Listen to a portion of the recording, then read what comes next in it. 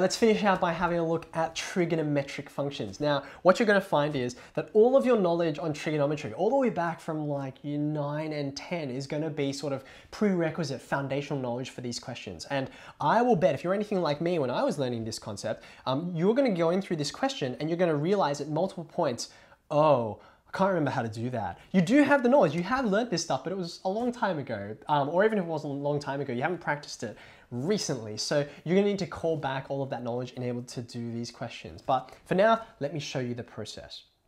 For starters, um, I've got a straight integration question, okay? Um, a straight definite integral.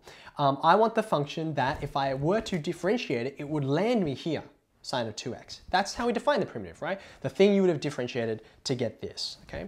Now I know um, sine comes from cosine, roughly speaking, but I know there's also negatives in there. There's gonna be reverse chain rule as well. So something that might help you, definitely helps me, is to do a bit of extra working over on the side here. So for instance, I know I've got that 2x in there. So let's have, say for example, cos of 2x. What will be the derivative of this guy? Okay, well, I'm going to do chain rule, so inside and then outside. The inside, it's going to be 2. And then the outside is going to be negative sine.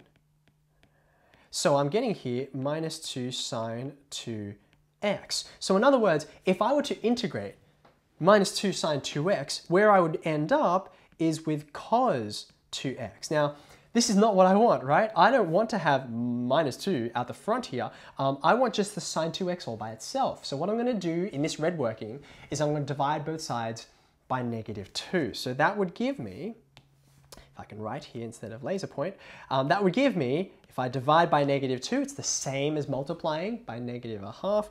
Uh, that would give me this on the left-hand side, dividing by negative 2, remember? And on the right-hand side, it would give me this. Okay, Success, this is what I want, right? This is the thing that if I integrate it, uh, sorry, if I differentiate it, I would land at sine 2x. So this guy in here, let me highlight it for you in green. This guy here is the primitive that I'm searching for. So now that I've got that in my mind and I've worked it out on the side here, I'm ready to reapproach this integral. The primitive is this negative a half cos 2x from naught to pi on 3. Uh, before I go ahead and do my substitution, as I've done before, I'm going to take out that factor of negative 1 over 2, and that means I'm just going to be evaluating this guy, naught to pi on 3. Uh, let's do the substitution now. So negative 1 on 2 out the front, cos of 2 pi on 3, firstly, and then cos of 0, secondly. Now, this is one of those points where you're like, oh yeah, this is something I can't remember. You can, of course, reach for your calculator and evaluate this straight from there, but um, cos of 2 pi on 3, this is meant to be an exact value that we actually know. And hopefully the more you do this, the more you'll actually get familiar with the values. So if I've got this negative 1 uh, over 2 at the front, um, I happen to know because I've done this question many times, cos of 2 pi on 3 is negative 1 over 2. Um, cos of zero, when you think about the cos graph and where what it looks like, it starts from um, up high and then it goes down like a valley, right? So um, I'm gonna have, starting at the top, a minus one. That's the, the top part of the range.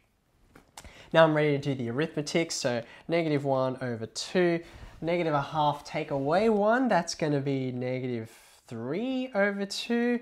My negatives cancel and I get four on the denominator. So that's what this looks like and you can see how I had to call on some of my previous knowledge in order to do the integration part of this.